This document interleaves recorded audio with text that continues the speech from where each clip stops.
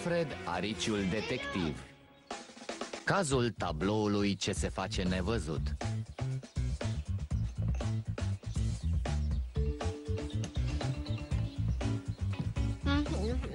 Bună, Lili! Wow, ești bună, ești foarte, foarte bună! Mă străduiesc cât pot eu de mult Oh, Lili, îmi place mult Desenul ăsta e suficient de bun pentru a câștiga concursul de pictură din pădurea cioturoasă Serios?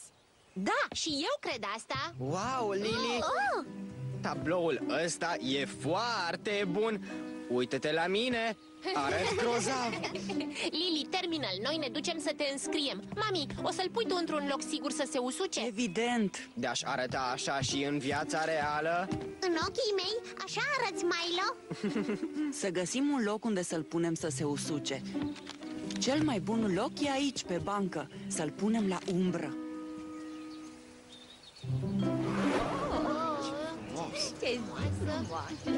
Te-am înscris, Chloe Baftă!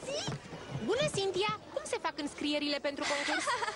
Pentru tine? De fapt, nu Cu siguranță nici pentru tine Nu pentru noi Vrem să o înscriem pe Lili Poftim, te rog E un concurs serios. Nu e pentru bebeluși În plus, eu o să câștig.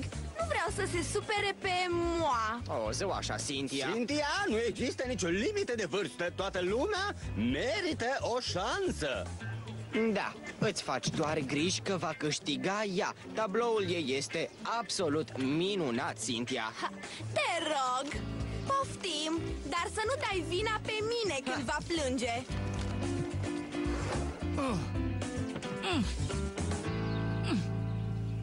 Tati, Da, scumpo. Tati, vino să-mi vezi desenul. Alfred a spus că e cel mai bun din pădurea cioturoasă Ia privește. Ah, ah, De, de, desenul meu.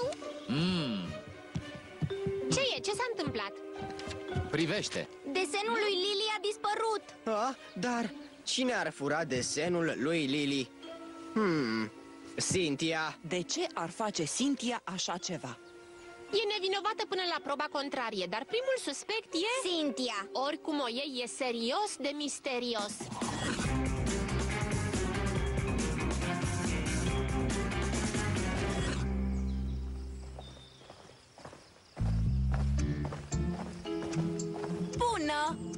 Mă bucur de razele soarelui Cynthia, trebuie să-ți vorbim Uh, nu, nu puteți vedea tabloul până mâine Va trebui să așteptați ca restul publicului Desenul lui Lili lipsește L-ai luat, nu-i așa? Poftim? uh, Adică l-ai văzut cumva? Destul de ciudat, dar nu De ce să-l fi văzut? Are picioare? A fugit cumva? Nu, dar se pare că l-a furat cineva lăsând în urmă o coală albă de hârtie Aha, bla bla bla Vorbesc serios Valea, blochez razele uh, Dăm voie să te întreb unde ai fost între 11 și 11.30 Te-am văzut la cabina de înregistrare, dar unde te-ai dus după aceea? Am luat-o eu și am dus-o la coafură. Părul ei trebuie să arate perfect la decernarea premiilor. Nu-i așa, scumpa mea? Da, așa este Păi, o scuză bună Am plecat noi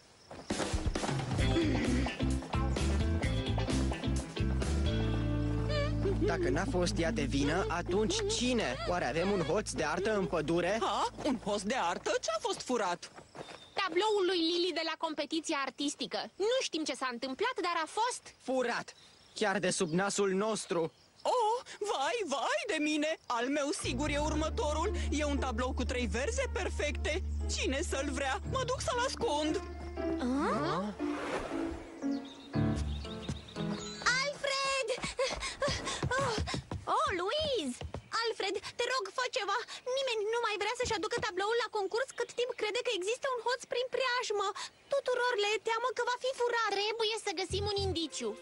Luat tabloul lui Lili? Trebuie să aflăm rapid Da? Bună ziua! Ați văzut pe cineva ducând un tablou sau comportându-se ciudat între ora 11 și 11.30 astăzi? Uh, nu, Alfred, n-am văzut nimic ciudat Am fost aici în pridvor, măturând, de fapt Nu s-a întâmplat nimic ciudat sau neobișnuit Nu v-a fost furat nimic? Nu, deși aș vrea să văd pe cineva încercând. Nu! Nimeni și nimic! Să încerce numai! I-am pregătit o surpriză! Uh! Uh! Nimeni n-a văzut sau auzit ceva. E singurul tablou care a fost furat. Asta ne dă primul indiciu. Un singur tablou a fost furat, al lui Lily. Să ne întoarcem acasă. L-ai găsit? L-ai prins? Nu, dar am câteva întrebări pentru tine. Ce întrebări? Gândește-te bine și încearcă să-ți aduci aminte dacă ai observat ceva ciudat când pictai tabloul. Orice lucru. Nu, Ciudat cum ar fi cineva care dădea târcoale. nu Am fost singurică, doar cu tabloul meu Mama se mai uita la mine în timp ce își făcea treaba prin casă Nimic, e un caz dificil. Ciudat a fost când m-am dus în casă să-mi spăl pensula Vopseaua se lipise de ea Da, nici ăsta nu e un indiciu. Greșești, Milo. Dacă e ciudat, după standardele mele, e un indiciu. Pensula lipicioasă e al doilea indiciu.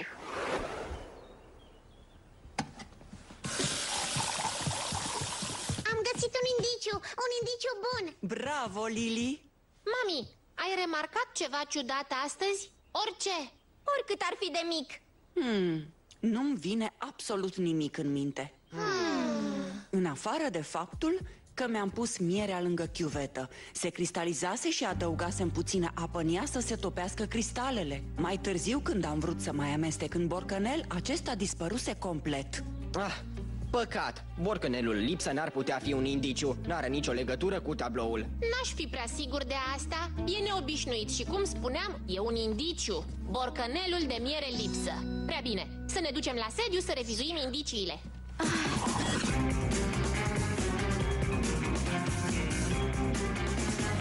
Așadar, căutăm un hoț de artă, băutor de miere de albine, care lipește pensulele de pictat. Va fi ușor de găsit. O, da, sună foarte simplu Nu e atât de simplu pe cât s-ar crede. Să revedem primul indiciu. Tabloul lui Lily a fost furat Și a fost înlocuit cu o foaie albă Exact. Spunem de ce s-a întâmplat una ca asta. Bună întrebare. Eu cred că tabloul surioarei mele avea ceva special. Exact iar. Era genial. Perfect. Arătam de milioane în el. Bine, Milo Al doilea indiciu. Pensula lipicioasă, asta e un fapt curios Deget lipicios, vopsea lipicioasă. Ce să mai fi fost? Borcanelul cu miere și apă dat dispărut de la mama e ciudat. De ce ar fi luat un hoț un borcanel cu miere și apă în toiul unui jaf? N-are niciun sens. Doar dacă hoțul nu l-a confundat cu altceva. Așa este Vopseaua și amestecul de miere și apă erau în recipiente asemănătoare În borcanele Da, în borcanele. Borcanelul lui Lili era lipicios, al mamei a dispărut. Poate că Lily a pictat cu miere, nu cu vopsea Ce ziceți? Da, în loc de hoț ar trebui să căutăm altceva. N-are niciun sens. Tabloul a dispărut. Am văzut cu toții că nu era acolo. Modul în care a dispărut mă pune pe gânduri. Tabloul era pictat în maro. Și arăta minunat. Iar mierea e și ea maronie Și Lili a spus că pensula ei era lipicioasă. Și mierea e lipicioasă Asta nu are nicio legătură cu jaful. Acum trebuie să caut ceva. Am găsit! Aici e! Ce e aici?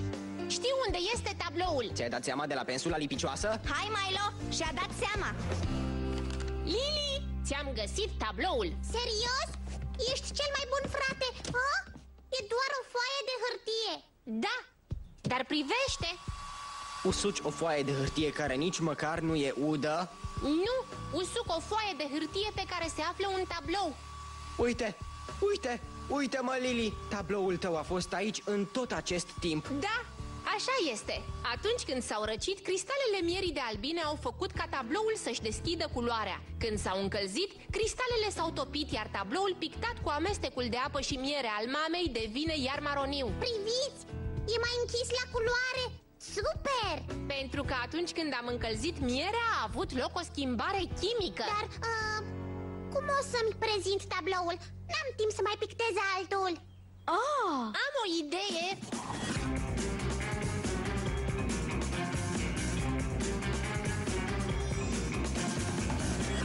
atingem lampa cu cuarț, o să păstreze tabloul cald ca să-l vadă toată lumea.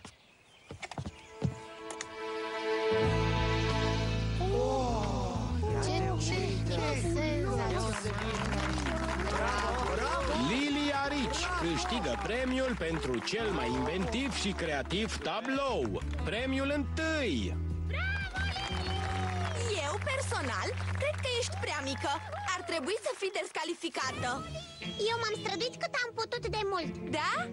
Ia încearcă să nu mai faci asta Niciodată, bine? Sub supravegherea unui adult, cerneala invizibilă se poate prepara și acasă, folosind părți egale de apă și praf de copt. Cu o pensulă pictați un tablou folosind amestecul respectiv. Va dispărea de pe hârtie, dar dacă îl veți încălzi, va reapărea.